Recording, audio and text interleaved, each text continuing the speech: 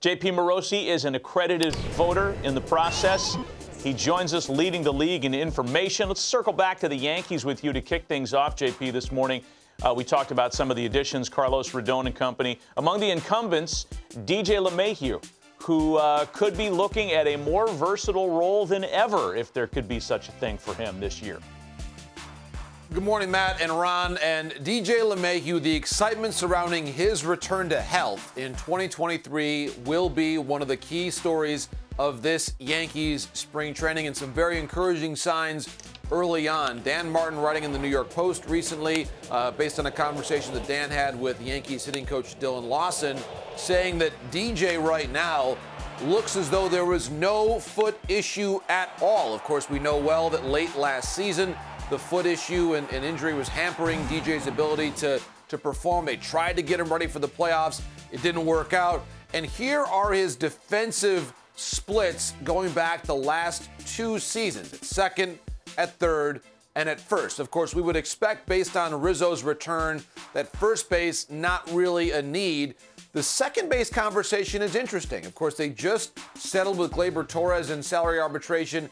I could see LeMahieu splitting his time between second and third, depending on the situation there. Do they end up moving Gleyber Torres at some point in spring training? Uh, at third base, we know well the struggles of Josh Donaldson at third base last year, especially during the postseason, his struggles against the Houston Astros in the American League Championship Series for me, I, I think it, it, looked as though in the in the playoffs, Matt and Ron, that that the gap between the Yankees and Astros was huge.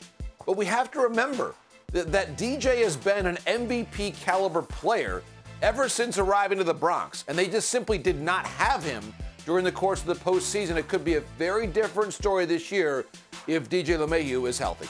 How about some ifs, ands, and uh, maybe not buts, but some ifs for another team, and that's the rotation of the Minnesota Twins. We know that with the addition of Pablo Lopez, they've gotten better. Sonny Gray returns. Joe Ryan, after kind of a breakthrough season, returns. And the guy we've kind of forgotten about is somebody coming off of Tommy John surgery. What exactly then are the expectations for Kenta Maeda?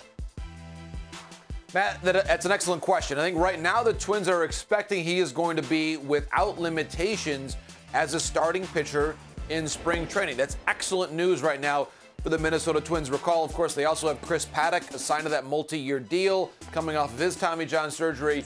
So the Twins are trying to really uh, have different layers of pitching uh, when you talk about their starting rotation. And, and I think Maeda really is a prominent member of this rotation. They've got certainly Ober as well has been part of the mix there the last uh, year or so too. So I, I like the Twins starting pitching depth. Uh, of course, they were able to bring back Carlos Correa, um, and, and, you compare this roster to the White Sox and the Guardians.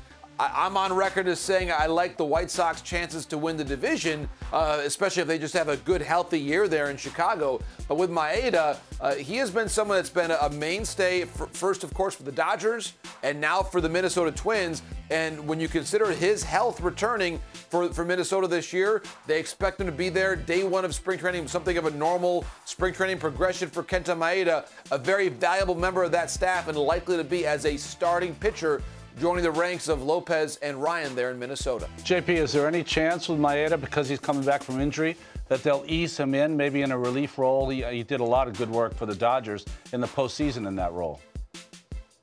They could do that, Ron, and I think that they'll be pretty, pretty creative with respect to how they manage his innings, maybe around the middle part of the season. They could, of course, back off back off him a bit during the during the middle part of the year in July. Maybe maybe have him uh, go into a relief role or a bulk role at that point in time.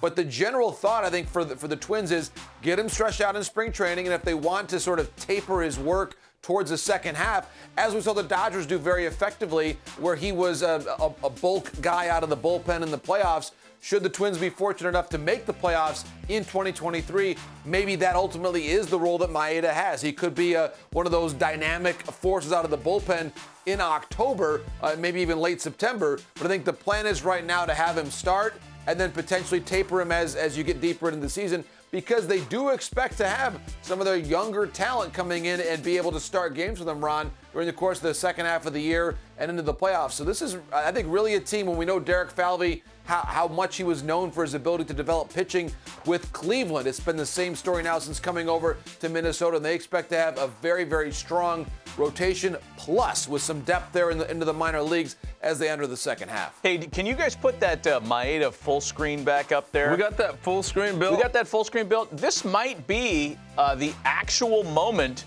where he blew out. Look, I mean, look at the look on his face. I love history. Yeah, I mean, I love history too, but that's uh, that's an interesting reaction. It, it's hard to throw 95. You know that, right? That's what it looks like. I do know that. uh, when he comes back, though, it'll be like they have kind of a new player on the roster. The. Twins have a new explosive weapon. New explosive weapon, says Scott Forrest. Uh, let's uh, let's get you on to something else we learned of yesterday, and, and this doesn't come as a great shock because there was conversation that Zack Greinke would in fact return for a 42nd year in Major League Baseball if this is close to what he's doing. Yeah, he's back, uh, a one-year deal, and and uh, the Royals are thrilled to have him back in the fold.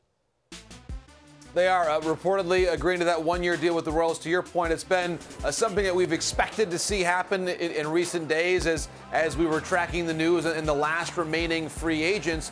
The Royals, of course, with first-year manager Matt Quatraro, uh, looking to compete a, a, little bit more in the American League Central this year. And, and the Royals just really enjoyed having Zack's presence in that organization and around their young pitching. Think about Singer, and of course, Singer will likely uh, be there with uh, D-Row and Team USA in, in uh, during the World Baseball Classic.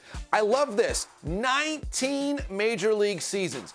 Uh, we just got done, of course, last last week at this time. We were at the Hall of Fame getting ready for the election. I believe, guys, as we talk about Zack Greinke and, and the resume that he's built, that when the time comes, years from now, I expect to vote for Zack Greinke for the Hall of Fame. There's enough Uh, of a peak. You see it there in 2009, best pitcher in the world, and six All-Star selections, more more than 3,000 innings with an ERA there of 3.42. I think as that win total moves higher and higher, I believe as a voter that we're going to start to look, and maybe I'll send it back to Ron on this note. We're going to start to look at 200 wins as being something closer to what 300 used to represent. And even if you get up to around 220, 230. That to me is rarefied air in the modern game, and Zack Greinke is there. Well, I think you're right, JP. 82 games over 500 with those 223 wins, over 500 starts, over 3,000 innings pitched, 118 strikeouts from 3,000. I mean, what else has he yeah. not done? Does he get to 118 strikeouts this year? You know, last year he had 73 in about 140, 150 innings. So the strikeouts have dried up, but maybe a, a, a magical finish. I think he's the kind of guy that's capable of, if he thinks that he needs to be a strikeout guy, he would just pivot into becoming that once again. This is a high-end all-star pitcher. Yes, it is, Harold. It is. Thanks for uh, chiming in on that, and uh, JP, thanks for for uh, for that as well.